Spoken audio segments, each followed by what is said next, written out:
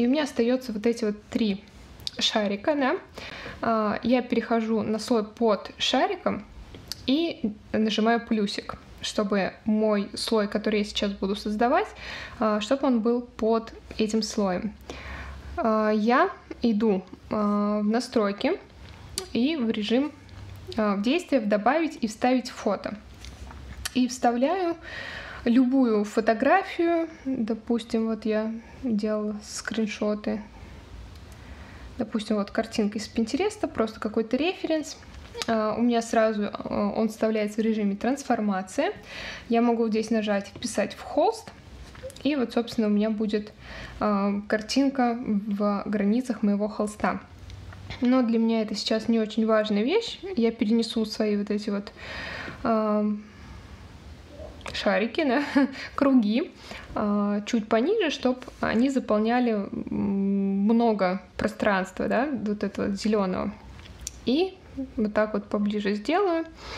Э, сейчас мы быстренько пробежимся по настройкам слоев и уйдем в эти все прекрасные инструменты.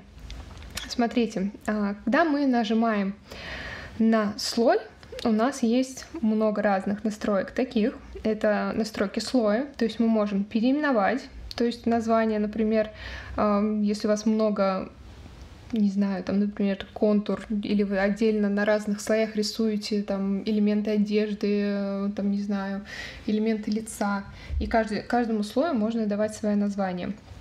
Выбрать мы, соответственно, э, это включается режим э, вырезки, да, выделения, нажимаю обратно, да, чтобы снять. Копировать, соответственно, копируется, можно вставить, залить слой. Если мы нажимаем «Залить слой», то слой заливается тем цветом, который у нас вот здесь вот выбран. Возвращаю обратно. Следующие настройки. Очистить, соответственно, просто очищается. А, блок альфа-канала, маску, обтравочную маску мы с вами разберем чуть-чуть попозже. А, инвертировать это просто обратный цвет, то есть, например, если был черный, становится белым, если был зеленым, становится красным. Это как бы просто режим инверсии. А, так, референс. Тоже функция, которую мы разберем немножко попозже. Сейчас она не так принципиальна. Объединить с нижним — это просто слияние э, слоев. Также слои можно вот таким вот прищипнутым движением объединять. Например, хоп, и соединила все четыре.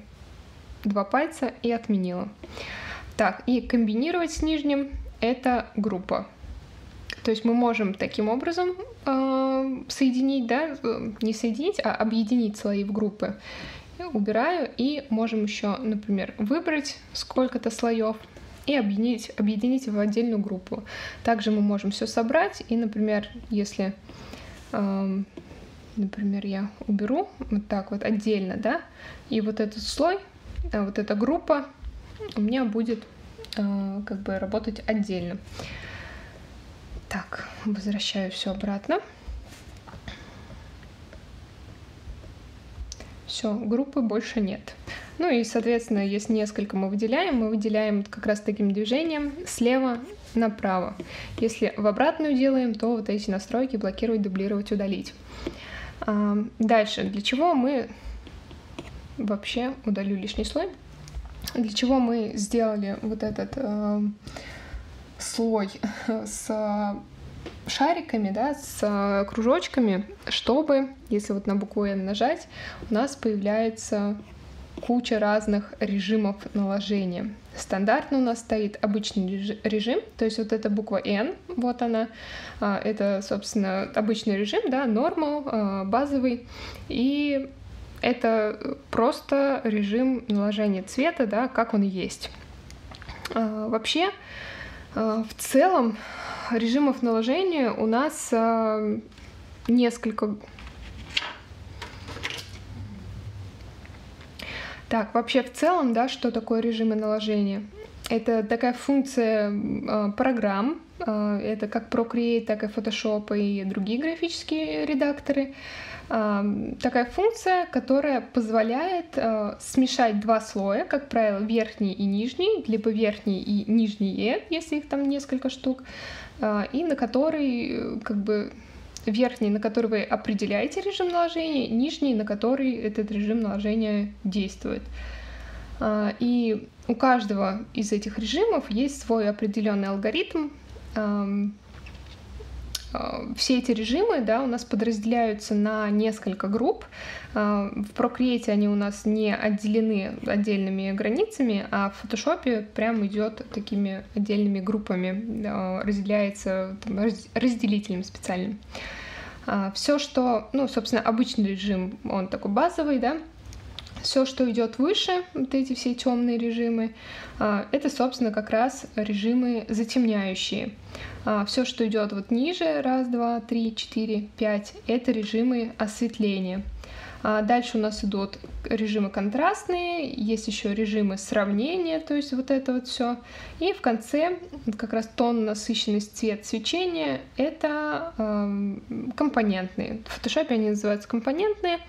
А, вот, собственно, раз, две, три, четыре, пять, да, пять групп. Наверное, в целом по, каждой, по каждому режиму я проходить не буду, быстренько пройду по тем, которые нам нужны.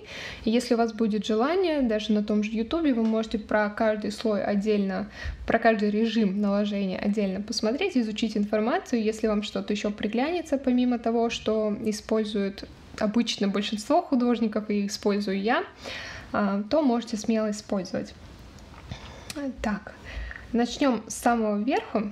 А, все режимы затемнения, которые идут над обычным режимом, а, они работают только с темным цветом. То есть, а, как вы видите, на белый цвет режимы совсем не реагируют. Из всех этих режимов самый используемый — это режим умножения. Чаще всего это, это можно использовать либо для затемнения каких-то участков, либо для теней, да, очень удобно. И вот как раз почему я выбрала картинку, да, чтобы было заметно, насколько режим умножения э, не реагирует, например, на белый цвет, и как реагирует на черный и на серый. То есть, если вы рисуете, допустим, если прям на этом же режиме, да, я выберу даже вот сумочка, я выберу темный цвет. И на этом же режиме, так, ладно, допустим, у меня будет мел. Я пройдусь так вот тенью по этой корзинке, сумочке, и мы видим то, что мы не закрасили полностью, да, как если бы у нас был обычный режим наложения. И вот если я, например, немножечко уберу прозрачный слой, сразу видно, что появилась такая тень именно в режиме умножения. То есть это э, режим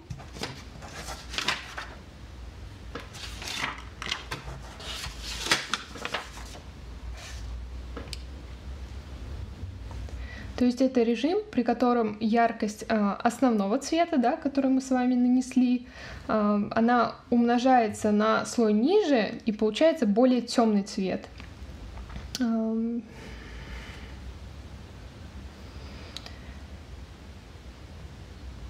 Все, возвращаю обратно. И, в принципе, э, должно быть понятно, да, как действует. Ну и, соответственно, непрозрачность, да, мы можем убирать, а, делать меньше, делать больше, в зависимости от того, а, что нам нужно.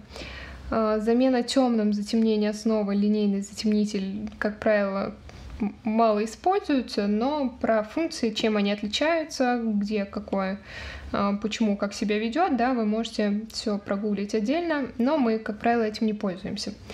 После обычного режима идут режимы наложения э, именно осветляющие. И, как вы видите, все режимы работают только с белым и э, серым, да. То есть у нас нет реакции никакой на черный цвет. Соответственно, из этих всех режимов, да, можно использовать, например, осветление с, э, основы и экран, это, как правило, для каких-то подсветок, например. Вот осветление основы делает такой очень светящийся а, цвет, да, который у нас под этим слоем. А, режим наложения добавить тоже довольно такой яркий, насыщенный, светящийся цвет. э, замена светлым, э, экран у нас более деликатный, светлее тоже более деликатный. Не буду придумывать, да, заново изобретать колесо, не буду выдаваться в подробности, просто потому что я в технических нюансах наложение этих слоев. Не разбираюсь так э, классно, да, чтобы вам объяснить, почему, что как действует. Ну, то есть какие-то режимы у нас работают только, например, со средними тонами на нижнем слое, какие-то там только со светлыми, какие-то только с темными. Ну, вот, например, заметно, да, что режим наложения светлее работает только с темными э, моментами, да, потому что средние какие-то светлые тона, они у нас здесь совершенно э, не меняются. Ну, то есть вот заметно, самые светлые моменты, они вообще не меняются. Так, дальше. Режимы наложения. Эм, наложение в фотошопе называется перекрытие. Режимы наложения, рассеянный свет, направленный свет, яркий свет, линейный свет, точечный свет эм, и жесткое смешение, вот то есть вот эти вот раз, два, три, четыре, пять, шесть, семь, семь цветов, это у нас режимы контрастные они добавляют именно контраста. То есть в режиме наложения у нас реакция идет и на белый, и на черный. На серый у нас реакции нет, потому что 50% такой серый, да, который ровно 50 на 50, а, это, по идее, для этого режима как э, средняя такая точка. То есть это то, что у нас есть э, уже в принципе, да, э, базовая картинка.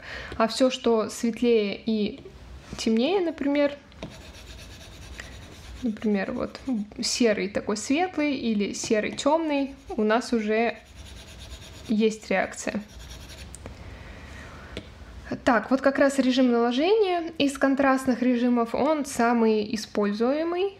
Так, если в режимах осветления, в моем случае самый используемый это режим добавить, и, как правило, на самых небольших процентах для подсветки, то в режимах контрастных я больше всего использую именно наложение.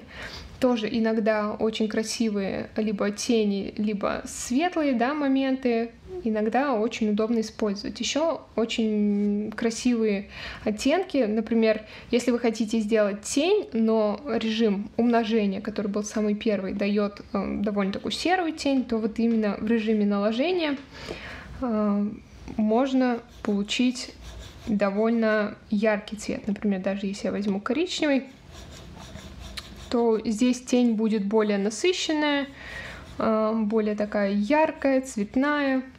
Поэтому вот тоже очень удобный момент. Так, дальше. Так, убираю. Эм, со всеми остальными вариантами э, режимов контрастности можете ознакомиться самостоятельно. Не забывайте убирать непрозрачность, потому что на 100% да, у нас, вот, кстати, есть направленный свет, есть реакция. Эм, так, жесткое смешение можно использовать для каких-то, там, не знаю, работ в стиле комиксов, да, что-то такое интересное делать. Но в целом я все эти режимы не использую. Дальше. Так, с разницы по исключению вычитания разделения. Эти четыре режима называются режимами сравнения. И, в принципе, иллюстраторы ими не пользуются. Поэтому я тоже не буду об этом говорить, просто потому что я не пользуюсь и не знаю, чем они могут еще помочь. Так, а вот зато последние четыре варианта, да, э, тон, насыщенность, цвет и свечение, это компонентные как раз режимы, и здесь э, чаще всего я пользуюсь вариантом цвет режим наложения. Например, здесь вот это незаметно, да, потому что у нас черно-белые собственно, слои. А, а допустим, если бы я хотела, чтобы моя сумочка была, например, не э, такого цвета, да, а, допустим, красная, я бы просто на режиме, на, э, на слое, на котором у меня стоит режим цвет, просто бы покрасила бы тем цветом, каким бы я хотела. Это, конечно, очень такой ядреный приторный цвет получился. Но в целом это как раз когда нужно что-то перекрасить. Например, вы рисовали платье в одном цвете, а полностью там дублировать слой, заполнять не всегда удобно. Поэтому можно что-то пробовать, да, именно в режиме наложения.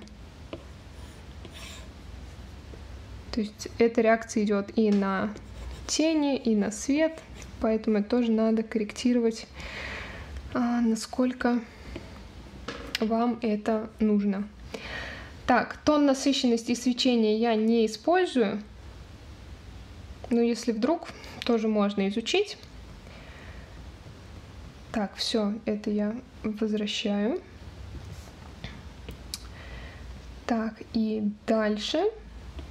Здесь мы, в принципе, по всему основному прошли. Советую прям попробовать поиграть с режимами наложения, посмотреть, как себя что ведет, и запомнить как минимум для начала а, режим умножения, обычный режим, режим добавить, режим наложения — и иногда можно использовать режим цвет.